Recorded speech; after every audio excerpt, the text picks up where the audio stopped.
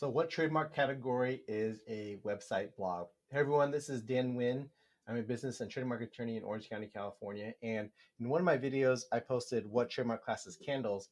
And someone asked the question, um, uh, do you know happens to know, do you happen to know the trademark class for website slash blogs? So it's pretty simple to find out. Um, so what I'm going to do is just look up trademark ID manual, uh, trademark, trademark ID manual, go here, okay? And then uh, what you're going to do is actually just type in uh, what what what you what's your good or service, right? So in this case, uh, a blog. So I'm just going to type in blog here, and there's a couple of him in class 42.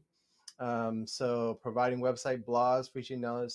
So potentially in this one, um, providing website featuring blogs and non-embedded publication in nature form of publication articles in the fields of. So it depends on the subject matter. So you have to narrow down your subject matter. But looks like 41 um, maintaining blogs for us. So 42, class 42 is a, is a service, uh, but 41 is it looks like what you're looking to get into. So for websites, blogs, the trademark class is is 41.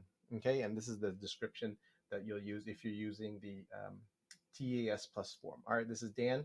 Hope this has been helpful. Talk to you soon. Bye.